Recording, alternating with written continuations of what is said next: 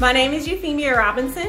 I am a delivery operations operations manager, and I've been with Amazon for four years. I was in the United States Army Reserve for eight years as a human resource specialist.